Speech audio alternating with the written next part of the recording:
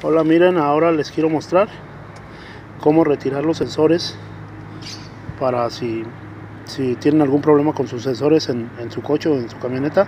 En este caso es para una Honda Odyssey.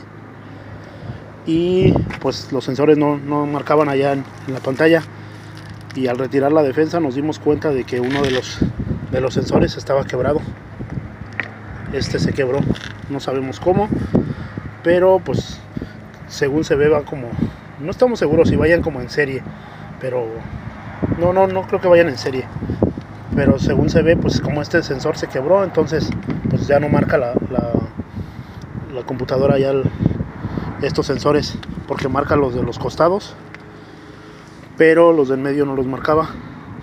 Así es que vamos a cambiar ese a ver si, si es que van en serie estos dos del medio y ya así los, los vamos a cambiar la forma de retirar el sensor es pues obvio vamos a quitar nuestra conexión.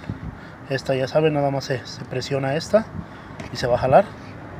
Y para retirar el sensor esta cosita de plástico son como los seguros. Entonces este este se va se va a jalar hacia hacia atrás.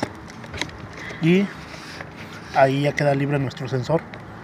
Y ya de esta forma ya nada más lo empujamos y ya vamos a, poderlo sacar.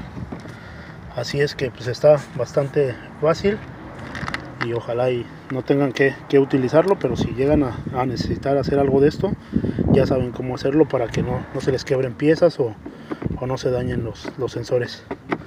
Bueno amigos gracias. Gracias por ver los videos y no olviden suscribirse